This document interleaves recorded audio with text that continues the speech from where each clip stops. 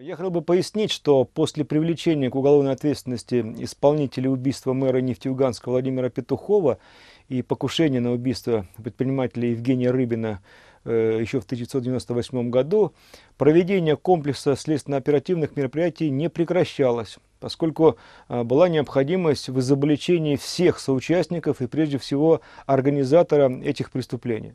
В итоге были получены доказательства, подтверждающие причастность к этим преступлениям Михаила Ходорковского, без команды которого, как известно, в ЮКОСе не принималось ни одно важное решение.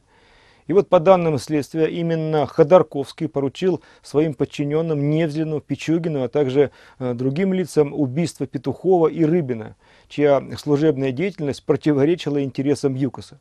Причем для следствия совершенно очевидно, что эти преступления совершались с корыстными мотивами. Но в частности, организовать убийство Петухова было решено в связи с тем, что он, как мэр Нефтеюганска, потребовал от нефтяной компании вернуть скрытые от государства налоги, ну а покушение на предпринимателя Рыбина было связано с его исками к ЮКОСу по взысканию ущерба, причиненного незаконной деятельностью этой компании.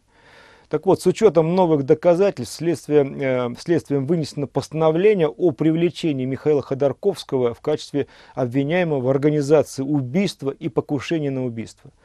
В связи с тем, что Ходорковский не явился в Следственный комитет, э, в ближайшее время он будет и объявлен в розыск.